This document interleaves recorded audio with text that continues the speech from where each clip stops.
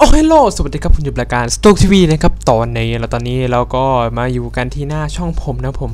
โดยวันนี้เราจะมาสอนวิธีการการที่จะแคสเกมกันนะผม โดยผมจะลงลึกเลยนะผมว่าจะทำยังไง ลงไปถึงยันการตัดต่อแบบคร่าวๆกันก่อนเลยนะผม จะเป็นยังไงเราไปติดตามชมกันเลยครับผม โดยสิ่งแรกที่เราจะต้องมีครับผมนั่นก็คือโปรแกรมอัดครับผม โดยในที่นี้ผมขอ ยกตัวอย่างง่ายๆเลยผมนั่นก็คือโปรแกรมที่จะเอาไว้สำหรับ record ตัวหน้าจอวิดีโอเกมที่เราเล่นนะผม โดยต่างคนก็จะต่างใช้ผมก็จะมีตั้งแต่แฟบเอ่อเพย์คาว Action มีอีกเยอะแยะมากมายผม แต่ผมที่ในที่นี้ผมจะเลือกแอคชั่นนะผมเพราะว่าผมซื้อมาเรียบร้อยแล้วผมอะโดยเรามาดูกันส่วนการตั้งค่ากันเลยผมก็ถ้าเกิดใครจะอัดเกมผมให้คลิกตรงอ่าที่เป็นรูปวิดีโอเกมให้ผม แนะนำให้เลือกไฟล์เป็น AVI ครับผม แล้วก็เลือก video size นี้แล้วแต่ครับผม แต่ว่าแนะนำให้เลือกเป็น original ครับผมก็จะง่ายครับผม ส่วน frame rate นี้ถ้าเกิดคอมใครที่แบบแรงๆหน่อยก็ run ไปที่ 60 frame rate เลยครับผม แล้วก็อย่าลืมติ๊กครับผมนั่นก็คือตรงนี้ผมไมโครโฟนให้เลือกเป็น always record นะผม เพราะว่าผมเคยมีปัญหากับโปรแกรมนี้เพราะว่าผมลืมติ๊กตรงนี้ผมเสียงเลยไม่ออกมันเลยคลิปเสียบ่อยๆครับผม ไม่ต้องไปคลิกอ่า อะเดี๋ยวลุงเดิงอย่าเพิ่ง ไม่ต้องไปคลิกไอตัว multichannel audio recording ครับผมให้ติ๊กแค่ record system sound ผม เรามาดูกันส่วนต่อไปครับผมนั่นก็คือส่วนตั้งค่าผมอ่าผมแนะนำให้ตั้งค่าตามตามที่ผมตั้งจะดีที่สุดนะผม ให้มาดูกันตรงส่วนที่เป็นรูปลำโพงของผมไมโครโฟนนี้ให้ตั้งไว้ดังๆครับผมอ่าจะได้ไม่มีปัญหาผม ส่วนนี้เป็นตัว sound card ของผมเองครับผมอ่า ให้ถ้าเกิดใครอยากจะแยกเสียงครับผมใน Action นะผมอยากจะแยกเสียงระหว่างเสียงพูดกับเสียงเกมเนี่ยให้คุณติ๊กตัวนี้ผม record microphone into separate audio track หรือเปล่านะน่าจะอ่าถูกครับผมอ่าแล้วก็ตั้งค่าปุ่มต่างๆ ให้เรียบร้อยครับผม ส่วนวิดีโอนี่ตั้งเป็น normal อะไรแล้วแต่แล้วผมนะแนะนำให้ตั้งค่าเสียงตัวนี้จะดีที่สุดนะผม โดยส่วนต่อไปเราจะไปดูกันที่ตัวโปรแกรมตัดต่อผม ในที่นี้ผมขอใช้ Sony Vegas ครับผม หรือใครจะใช้ Camtasia Studio ก็ได้ครับผม หรือจะใช้อื่นๆก็ได้ครับผม คือโปรแกรมไหนก็ทำได้ครับผม Movie Winmaker ที่อยู่ใน Windows เป็นโปรแกรมที่ติดมากับ Windows เนี่ยก็ยังใช้ได้เลยครับผม แต่ว่าผมขออนุญาตใช้ Sony Vegas ครับผม เพราะว่ามันมันน่าจะเป็นโปรแกรมที่เรียกได้ว่าเบสิกสุดแล้วผม ก่อนอื่นให้คุณเนี่ย เอาไฟล์นะ เอาไฟล์ที่คุณอัดมา ผมขอยกตัวอย่างเอาเอาเอานี้แล้วกันอะลากมาเลยครับผม แล้วเราก็รอมันแปลงไปครับผมแม่ปึ๊บอันนี้คือมันถามว่าเราจะให้ทำ setting แบบในวิดีโอหรือเปล่า เพราะว่าของผมมันเป็นตอนนี้มันเป็น 60 frame rate ผมก็กดเย็ดไปครับผม มันก็จะทำการดึงลากไฟล์มาอย่างนี้ผม ให้คุณมาดูกันที่ตรงนี้กันก่อนนะผม ดูที่ตรงนี้ผม project นะครับผม ให้คุณดูก่อนนะผมว่าจะให้เลือกเป็นอะไร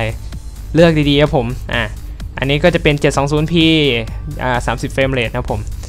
แนะนำให้เป็นอันนี้ครับผม มันจะง่ายกว่าผม แต่ถ้าเกิดใครอยากจะทำเป็นแบบ 720p 60 frame rate ก็ให้คุณอ่าเปลี่ยนตรง frame rate นะครับผม เปลี่ยนเป็น 60นะครับผม อ่า ก็จะได้เป็น 60 frame rate สำหรับใครที่อยากจะทำเป็นแบบ 1080p ก็ ผมไม่แนะนำให้เลือกไอ้ตัวตรงนี้ผมที่เป็น frame rate นี้จะเป็นตัว i ครับผมมันมันมันจะไม่ใช่ resolution ที่ถูกต้องผมก็ให้คุณเขียนไปเลยผมก็ถ้าอยากทำเป็นพันแปดสิบพีนะหนึ่งเก้าแปดศูนย์ใช่ป่าวะหนึ่งพันเก้าร้อยยี่สิบสี่หนึ่งพันเก้าร้อยยี่สิบคูณหนึ่งพันแปดสิบนะผมอ่าอยากทำเป็นหกสิบเฟรมเรทใช่ไหมครับผม เปลี่ยนเลขสิครับ อ่าง่ายๆครับผม ส่วนที่เหลือก็ตั้งค่าไปผม แล้วก็ผมขอตั้งค่าแบบผมเลยแล้วกันอ่าแบบนี้ แล้วก็กด start or new project with uh, thing setting ครับผม เพราะว่ามันจะเป็นตัวสำหรับว่าถ้าเกิดเราเปิดโปรแกรมมาครั้งหน้า มันจะ setting แบบนี้ผม อะ ไม่ต้องติ๊กครับผม แนะนำให้ติ๊กนะ แต่ว่าอันนี้คือผมไม่ติ๊กนะผม เพราะว่าปกติผมจะทำเป็น 60 เฟรมเลยครับผม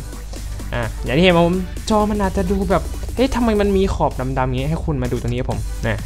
ผมมาเจาะลึกเลยนะปุ๊บอย่างที่เห็นนะผมให้คุณเลือกเลือกตรงนี้ผมเลือกให้เป็น 16 ต่อ 9 ผมมันก็จะทำตัดเองแง่แต่อัตโนมัติเลยครับผมอ่าแล้วคุณมาดูตรงส่วนต่อไปครับผมให้คุณอย่าลืมว่าผมปิดไอตัวนี้เดี๋ยวต้องกดเลือกที่วิดีโอผมคลิกขวาเลือก disable ครับผม เพราะว่า disable disable ครับผมเพราะว่ามันจะทำให้วิดีโอเราชัดขึ้นมากเลยครับผม อย่างนี้อ่าโอเคไม่ต้องดูมากครับผมอ่าแล้วเดี๋ยวเราไปเอา intro มาใส่กันเลยดีกว่าอืมปึ๊บ intro เดี๋ยวเดี๋ยวเดี๋ยวไฟล์มันเยอะเหลือเกินปึ๊บปึ๊บปึ๊บปึ๊บปึ๊บปึ๊บปึ๊บปึ๊บปึ๊บนี่ไงเนี่ยผม ก็เลือกไฟล์มาครับผมนี่ intro ครับลากสายมามาติดติดติดติดติดกันนะผมเนี่ยเห็นไหม ง่ายครับผมนิดเดียวเองแค่นี้ครับผมก็ตัดต่อเสร็จแล้วผมนะถ้าเกิดคุณไม่แปลงไฟล์แล้วคุณอัพลงดื้อๆนี่อาจจะมีปัญหาได้ผมอาจจะแบบโอ้โหทำไมมันอัพลงนานอย่างนี้ครับผมเพราะว่าไฟล์หนึ่งนี่ไม่ใช่น้อยๆครับผมนี่ยังอันนี้เดี๋ยวผมขอดูไฟล์นี้ให้ดูเลยผมไดจีนี่อ่าอย่างไฟล์ที่ผมเอามาล่าสุดเนี่ยมัน 9.9 จิกครับผมเกือบ 10 กิกนะไม่ใช่น้อยๆนะอันนี้นี่นี่เห็นไหมอ่าผมขอ ตัดตัดนะผมก็กด S ถ้าผมตัดอ่าปุ่มรัดเดี๋ยวผมสอนคีย์รัดให้เลยปุ่ม S ตัดแล้วผมนี่ก็จะตัดไฟล์ได้ผมกด Ctrl U ผมเพื่อแยกเสียงครับผม เราจะได้แยกเสียงออกมาอย่างนี้ แล้วก็ดันเสียงตัวเองขึ้นนะผมนี่ดันขึ้นปุ๊บดันขึ้นอ่าแค่นี้ครับผมก็แป๊บเดียวเองพวกผมตัดต่อแค่นี้เองเราก็ใส่กันนะผมใส่อินโทรเสร็จแล้วเนี่ยโอ้เดี๋ยวเดี๋ยวผมขอลดเสียงก่อนแล้วกันเดี๋ยวเสียงมันดังเกิน ปุ๊บปุ๊บ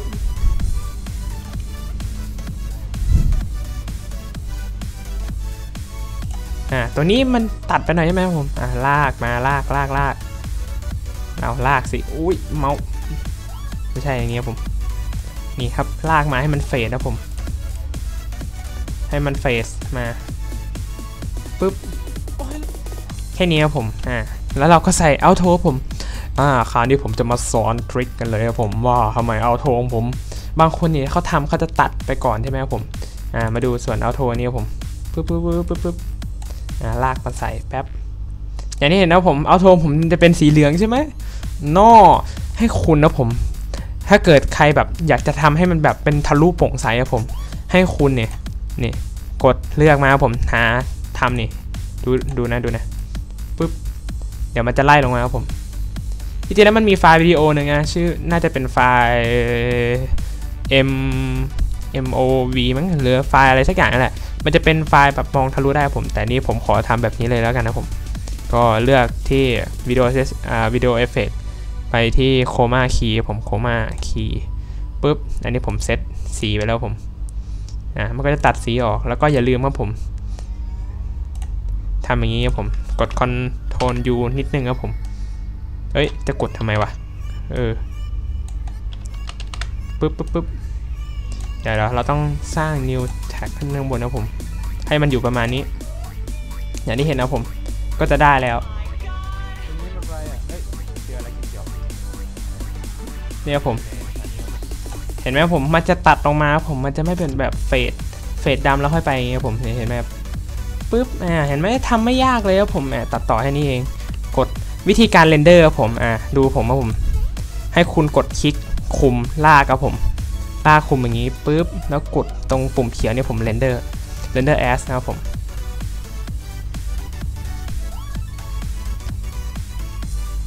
ปึ๊บปึ๊บปึ๊บรอโหลดรอโหลดให้คุณสร้างชื่อไฟล์ผมก็อ่าเดี๋ยวเดี๋ยวผมขอเอานี้ออกก่อนอ่าอย่างที่เห็นนะผม ถ้าเกิดคุณได้ Sony v e g a s มาตอนแรกคุณจะแบบ เฮ้ย กูจะ render อันไหนดี ก็ให้คุณไปดูที่ผมแนะนำให้คุณเลือกเป็น MP4 ผมก็เลือกอันนี้ผม แล้วก็เลือกเป็นอ่าอินอินเทอร์เน็ตนะผมก็เลือกเป็น 720p ครับผม เพราะว่าช่องผมอัพเป็น 720p ใครอยากอัพเป็น 1080p ก็อันนี้ครับผม ให้คุณมาเลือกที่ Custom ครับผม อ่า Custom นี่อ่า ให้คุณเลือกไว้เลยครับผมว่าคุณจะเอาแบบไหน อ่า นี่คุณอยากจะเลือก resolution เท่าไหร่ แล้วก็ตั้ง frame rate นะผม ถ้าเกิดคุณปรับนี่ในโปรแกรมเนี่ยในนี้ แล้วนี้คุณมา render เป็น 30 frame rate ก็ไม่ได้เรื่องครับผม เพราะงั้นคุณก็ต้องทำให้ถูกด้วยครับผมอ่าอ่าอันนี้โชว์ผมเพราะว่าผมทำเป็น 2 ไว้แล้วอ่าโอเค ก็แค่กด render แล้วก็รอมัน render ไปครับผม ซึ่งคอมแต่ละเครื่องก็ render ต่างกันนะผมแล้วแต่สเปคคอมครับผมอ่าสมมติว่าผม render เสร็จแล้วกันอ่าโอเค แล้วต่อไปเราจะไปดูส่วนการอัปโหลดครับผม อ่าเรามาดูการอัปโหลดคลิปลง YouTube กันนะครับผมอ่าให้คุณกดมาที่อัปโหลดนะผมอยู่ข้างบนนี้กดมาเลย กดมาปุ๊บคุณก็จะเห็นอย่างนี้ใช่ไหมครับผมอ่าให้คุณไปหาโฟลเดอร์ที่คุณเรนเดอร์ไว้ผมอ่าอันนี้อย่างอันนี้ผมเอาเรนเดอร์อะไรดี ผมจะว่าอัพอะไรดีให้มันดูดีหน่อยปึ๊บปึ๊บปึ๊บปึ๊บปึ๊บปึ๊บปึ๊บปึ๊บปึ๊บอัพอะไรอ่าไฟล์เพลงไม่เอา อัพไอตัวอะสโตทีวีลน์แล้วกันนะผมอ่ากดล่าไปครับผมมันก็จะเริ่มอัพครับผมแหมแหมปึ๊บปึ๊บให้คุณอ่าอย่าลืมว่าผมให้คุณตั้งค่าอะไรต่างๆ มากมายผมอ่าอันนี้ผมตั้ง setting ไว้แล้วมันก็จะอันนี้ครับผมส่วนสำคัญที่สุดนะฟังผมเลยว่าส่วนสำคัญที่สุดที่จะทำให้วิดีโอคุณเนี่ยอยู่ใน YouTube แล้วหาเจอ คุณอย่าลืมใส่แท็กบน YouTube ด้วยครับผม เพื่อจะได้หาเจออย่างนี้ครับผมอ่าเห็นไหมผมก็จะมีแท็ก สโต k ทีวีคุณแม็กอะไรว่าไปผมถ้าเกิดเราเซิร์ชสโต k ทีวีเราก็จะเจอผมเดี๋ยวเดี๋ยว new tab ปึ๊บปึ๊บปึ๊บปึ๊บอะ chat YouTube YouTube อืมอ่าอย่างนี้ผมเข้าไปปุ๊บอ่าอัปโหลดใกล้จะเสร็จแล้วแหมอัปโหลดดี โอ้ ช้าจังเลยเข้า อัปโหลดดีนะ ให้หนียามจะเซิร์ชแล้วผมก็เซิร์ชไป ผมแนะนำให้คุณแท็กไว้กับผม เพราะว่าแท็กต่างๆ มันจะช่วยในการค้นหาผมอ่า